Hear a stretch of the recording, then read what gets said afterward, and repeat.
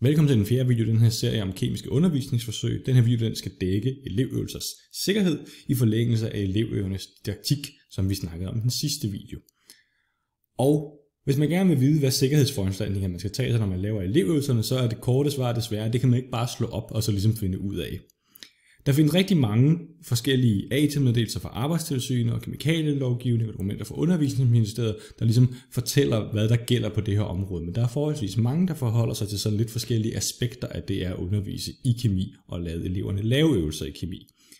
Og det, der også er meget gennemgående for de her beskrivelser, det er, at de sjældent er konkrete, men skriver sådan noget med, at det anbefales, og man bør gøre ting, og der skal foretages konkrete vurderinger. Og det er jo sådan set også meningsfuldt nok, når undervisningssituationer og eleverne kan være så forskellige, som de kan være.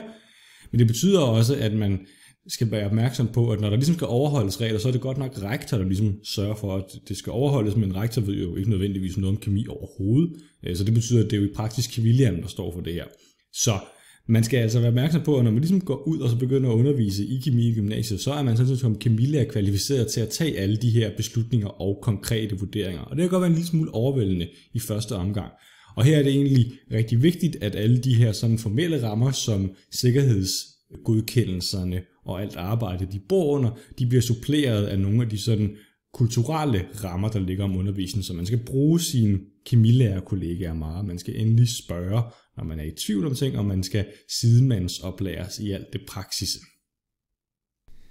Hvor skal man så starte henne, når man vil gå til det her? Et rigtig godt sted, det kunne være i den AT-meddelelse, der hedder elevernes praktiske øvelser på de gymnasielle uddannelser, og det har taget det her citat fra, der egentlig prøver at underbygge, at Selvfølgelig så skal undervisningen foregå sikkerhedsmæssigt og sundhedsmæssigt forsvarligt, men der er også en pointe om, at man, når man gør det, så tager man ligesom forhold til elevernes alder og indsigt og arbejdsevne og deres øvrige forudsætninger, og man opbygger også en forventning om, at eleverne de får rutine i laboratoriepraksis.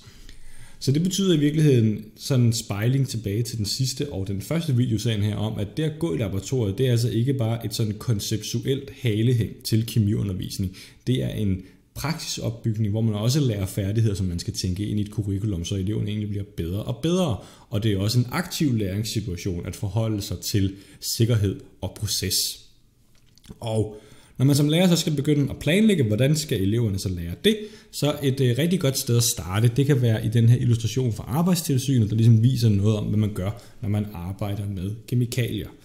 Og øh, vi kommer ikke den hele igennem i den her video, men øh, noget af det vender vi tilbage til, når vi senere skal snakke om kemikaliehåndtering. Men øh, der er dybest set sådan en proces, som man kan følge, og så vælge de trin, kan man forhåbentlig opbygge en praksis, som giver mening i forhold til en undervisningskontekst, man står i. Og modellen der, den er jo godt nok cyklisk, så det er der selvfølgelig en pointe, at den kan starte alle steder og aldrig nogensinde stopper. Men et meget godt sted at starte, det kan være ved sådan en risikovurdering oppe i toppen. Og det man kan gøre, det er, hvis man gerne vil lave en øvelse med sine elever, og det skal man jo gøre, så kan man starte med at overveje om den øvelse sådan, jamen, hvorfor nogle kemikalier er det, jeg skal arbejde med, hvad udstyr skal der bruges, og hvilke arbejdsprocesser skal der ligesom gennemgås i den her øvelse.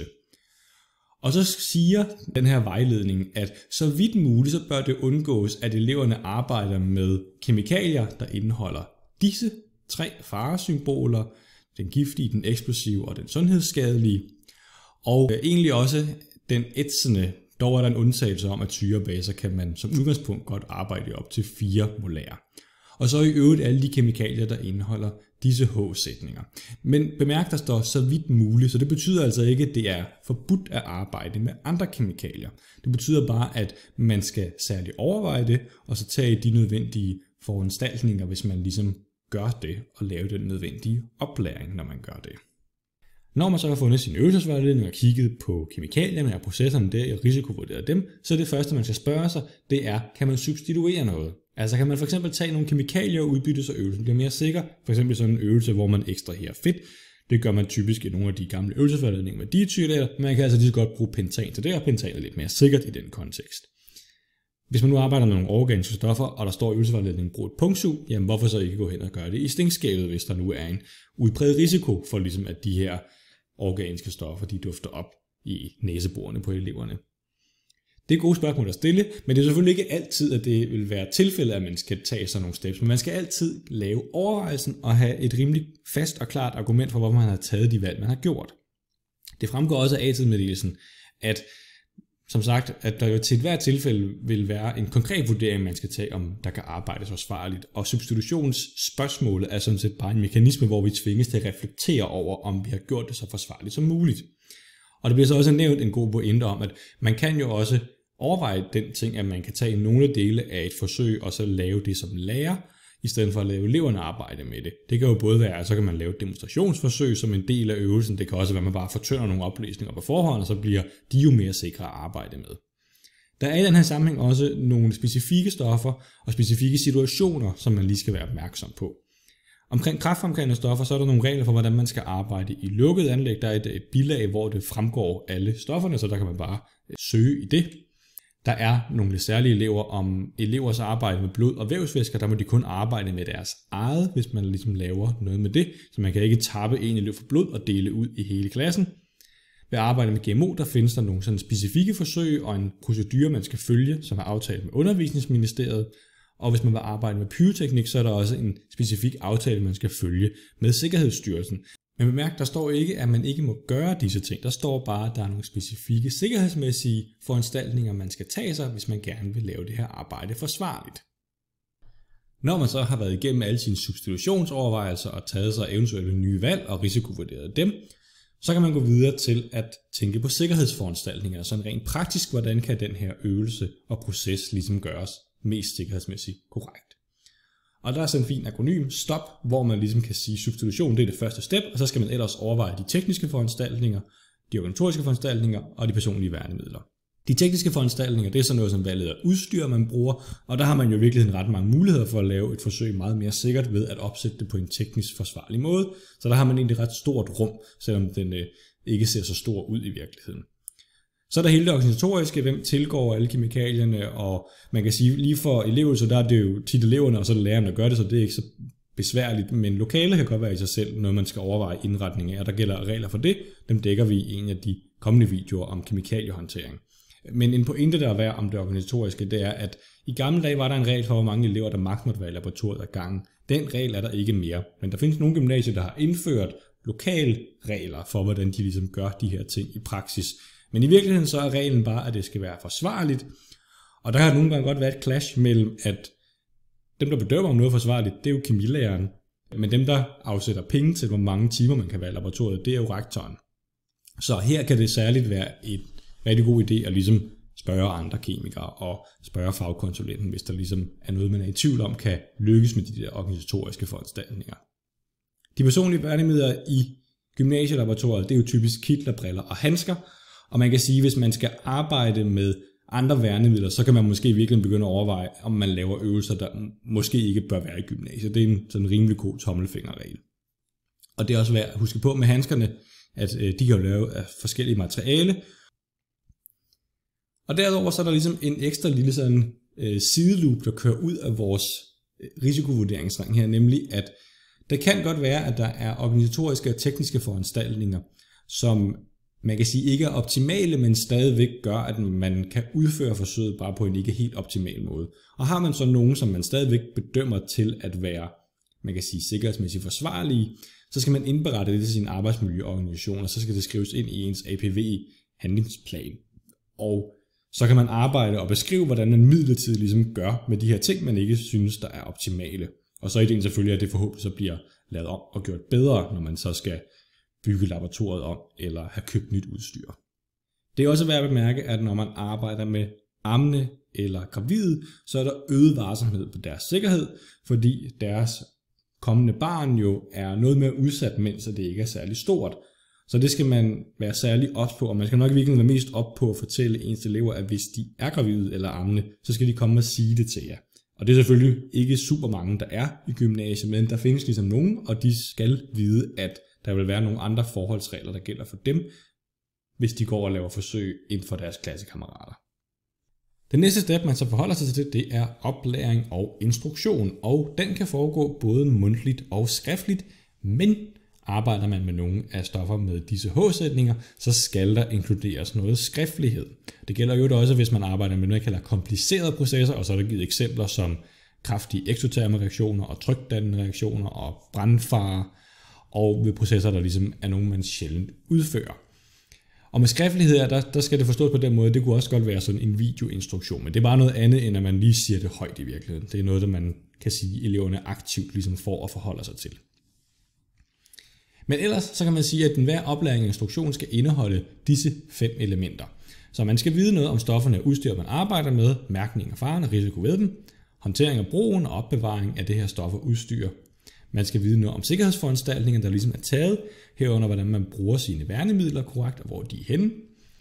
Om sikkerhedsforanstaltninger, hvis der sker uheld, og om bortskaffelse af både stoffer og værnemidler, når man er færdig med at bruge dem. Og det er nok ikke en kæmpe overraskelse, det er nok noget, man forbinder i virkeligheden med enhver form for laboratorieøvelse, forhåbentlig. Og når man kan sige, når man har gymnasieelever, så kan det være praktisk at opdele det her i sådan nogle typer af instruktioner, så man kan sige, at den første dag med laboratoriet, der giver det nok rigtig god mening at lave en sådan generel instruks, fortælle hvordan det er indrettet, hvor hen skraldespanden står, hvor hen nødbruseren er, hvor hen øjenskyllerne er, hvornår de skal bruges, at der er affaldssortering af kemikalierne, det skal ikke bare alt sammen i vasken, og alle sådan nogle ret generelle ting. Og så når man begynder at arbejde, så bliver man selvfølgelig bedre og bedre at lære, hvor de ting ligesom er. Så det behøver man nok ikke at gøre hver eneste gang.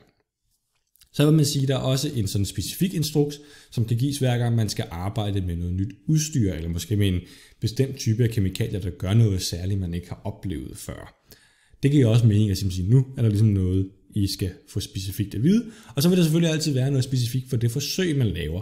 Og det kan jo være både på sådan, når jeg arbejder med det her kemikalie, så være opmærksom på det her, eller det skal i den her affaldsband. Men det kan jo også være sådan, processerne er sådan, I skal være opmærksom på, når I blander de her, så øh, er det for eksempel en eksoterm proces, og så bliver den varm, og det betyder, at I skal sætte den et sted, og I ikke skal stå og holde den, eller sådan noget lignende. Men det skal i hvert fald inkluderes, disse fem trin, og det er nok en meget god måde at bruge en model eller den her nede. For at illustrere alt det her, så tænker jeg, at det var meningsfuldt at prøve at tage et eksempel på et forsøg, og så ligesom vise, hvordan man kan gå igennem hele den her risikovurderingscirkel og arbejde med det her. Så jeg havde tiltænkt et forsøg, hvor man eh, oxiderer propan-2-ol, og ligesom ser, at det her det er en sekundær alkohol, og den kan omdannes til en keton, og så kunne man lave en destillation, hvor man ligesom separerede den, og så den havde et lavere kogepunkt, og så kunne man ligesom måle det. Det er ikke super specifikt, men sådan, det, det er nogle af det, jeg tænker. Det kunne være sådan læringsmål i den her øvelse. Hvis man så forestiller sig, at man slår det her øvelse op, så kunne det være, at der var sådan en gammel øvelse, der sagde, så oxiderer vi ved at bruge kaliumdikromat, det er sådan ret giftige og kraftfremkaldende kemikalier, så der vil det give mening at substituere og sige, at vi bruger kaliumpermanganat i stedet for. Det kunne også være, der blev sagt, at man bruger en bunsenbrænder, når man laver den her destillation.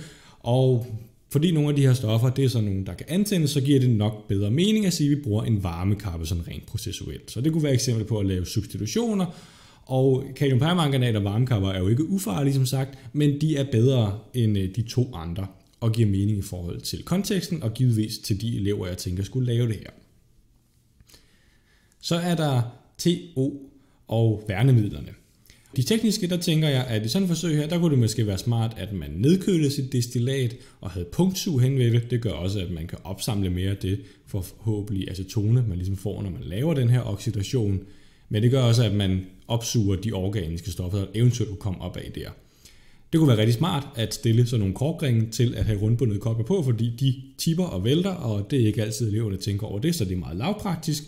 Og så kunne man gøre det, at man i stedet for at lave eleverne sådan lave blandinger af kaliumpermanganat og for eksempel svovlsyre til at gøre den her opløsning sur, så kunne man jo blande dem og fortynde dem på forhånd, så de ligesom havde en lavere koncentration. Organisatorisk, der kunne det være, at man sagde, jamen øh, jeg vil kun have fem grupper i gang, og det kan være sådan en praktisk ting, fordi at der er nogle eltavler, der ikke er helt opdateret, det kan jeg så skrive i ønske til den her APV, at jeg vil egentlig gerne have noget bedre el, for så kan jeg have flere elever i laboratoriet, og det vil ikke være et problem for mig, men lige nu er det noget, der ligesom sætter en begrænsning på den her øvelse.